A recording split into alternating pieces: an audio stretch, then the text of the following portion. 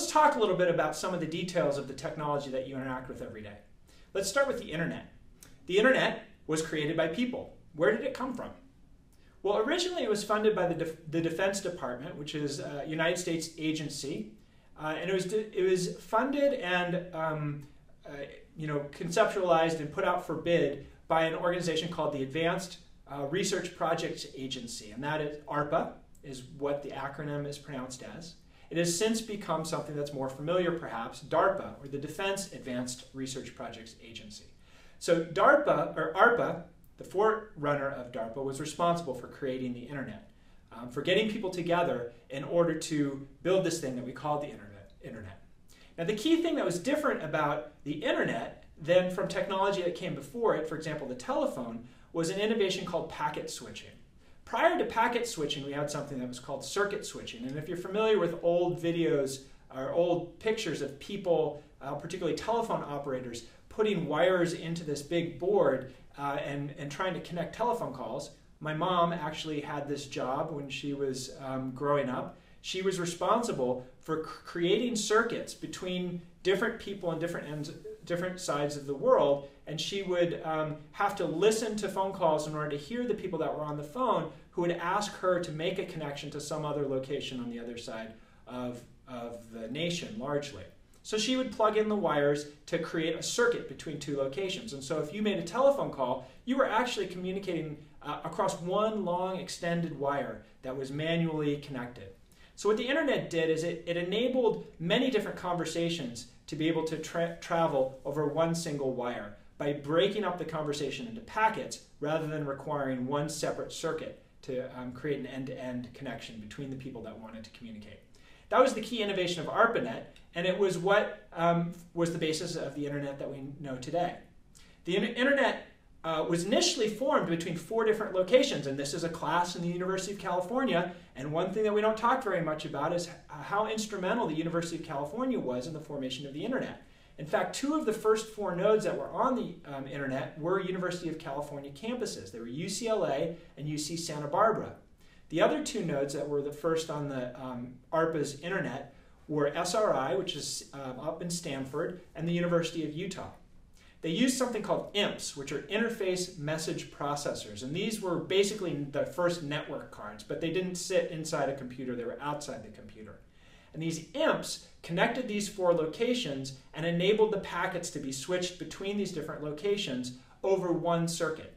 That first internet message was sent on October 10th, 1969. It was sent by uh, a UCLA student programmer named Charley Kline at about 10:30 at night, um, and he transmitted that message from a, a computer called an SDS Sigma 7. That was the host computer, and sent it to Stanford's Research Institute in a different um, SDS computer.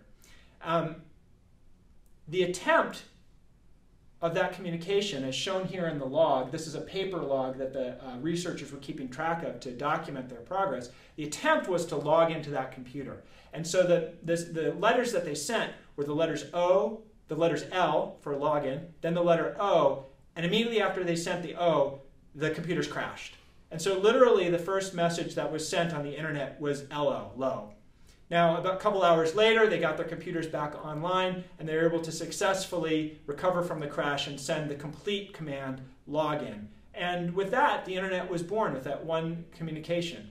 So that first link was in October of 1969. Uh, the permanent, a permanent link was established about a month later on the 21st of November. And then by December 5th, 1969, all four of those nodes had been connected in a permanent network that were sending packages uh, back and forth around this nascent internet, although we don't know how often it was crashing after that. Now, in parallel, something else was going on with the creation of the internet. There was something that was being created in Hawaii through the University of Hawaii system called AlohaNet. And AlohaNet was doing something slightly different. They were trying to connect the Hawaiian Islands by radio. So, unlike land based stations, uh, Hawaii didn't have the benefit of being able to be connected by uh, wires. At that point, they didn't have undersea cables that were connecting uh, the islands for this purpose. And so they were trying to do the same thing, but they were trying to do it over radio networks. So the key innovation in the AlohaNet was allowing several different computers to use the same medium The medium in this case was the radio frequency that they were using to communicate the message. Um, and being able to use all the computers to communicate at the same time, at the same frequency, and still be able to get their message through. And this technology became the foundation for how mobile phones, when you, when you talk on them, are able to all use the same frequencies. It has since evolved, of course, but originally used the same frequencies in order to communicate, even though all the phones around you are using the same frequency. It also became the basis for um, Wi Fi communication. How computers connect to the Wi Fi network owes its heritage to that which was developed at the Aloha Net. So, key milestones in the invention of the internet were in 1969, ARPANET sent the first message. This was a landline based system. In 1970, we're very sad, the first email was sent. Of course, life has never been the same since. 1971, in parallel, the first AlohaNet demo was made. Um, and then in 1972, ARPANET and AlohaNet came together, and those two were connected to form a, a joint network. By 1973, there were 40 nodes in the entire ARPANET network, so it was growing slowly but steadily, and it included the first international node, which was located in Norway.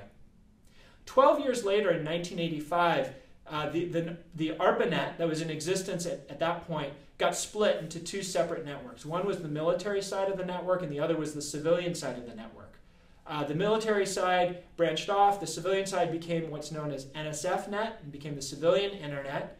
And that continued growing until 1995, at which point um, the backbone was transitioned to private companies, and the backbone began managed by commercial companies um, from then on. And so from then on, the internet has had a structure similar to what we see um, in 2014. This graphic here just shows you in 1991 what the connections were in the NSF net, those white lines being the backbone that were connecting major hubs like freeways connect cities if you drive by car, and the vertical pink and yellow lines showing the um, smaller connections that would go from these um, regional hubs down to local universities in the same way that arterial roads or residential nodes connect houses with the freeway. And the colors represent how much traffic was being sent at that time. So that's it. That's the origin of the internet in a nutshell. What I think would be important now is to talk about some other kinds of terminology that are um, going to be talked about as we talk about information technology.